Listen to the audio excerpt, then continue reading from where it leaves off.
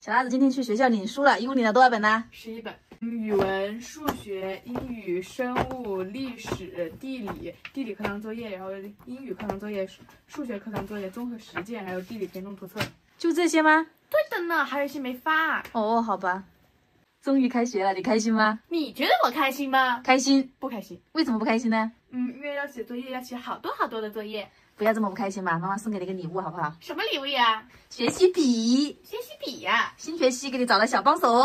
可是我亲爱的妈妈，家里之前不是有一个学习笔吗？怎么又买一个啊？这个作业帮的学习笔，它跟那个磁铁笔不一样哦。你看它是双头设计的，宽头扫理科，窄头扫文科，哪里不会你就扫哪里。你现在上初中了，除了语数外，还多了政治、历史、地理、生物、物理、化学这么多门，这支笔全都能搞定。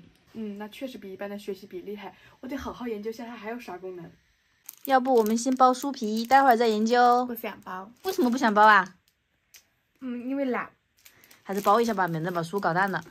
虽然说你现在上初中了，但是还是要包一下，讲究那个仪式感是吧？对。妈妈，你能把这只亲爱的猫弄走吗？不然我怎么包？它每次你一做事，它就捣蛋，我也没办法呀。你把它扔开。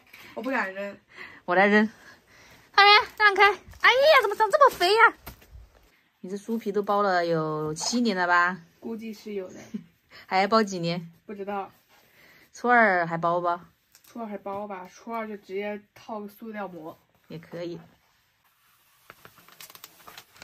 今天去领书，老师有没有说要买其他的东西？明天再去买，买几个英语本子，还有几个语文本子，还有几个数学本子就可以啦。嗯，我感觉开学就最费钱了。买本子，买笔，买文具，买笔袋。哎，你今天还没换笔袋，要不要换一个？嗯，还是不了吧。不换啦。我觉得这个蛮好的，其实。或者你帮我换一个容量小一点，随便放几支笔也行。耶，以前都是吵着我跟你要我跟你换笔袋，今天咋不吵着换了呢？好稀奇啊！长大了吗？没长大，只是现在不想换，还要过几天再换。估计过几天估计就吵着换了。好，等你想换的时候告诉我哈。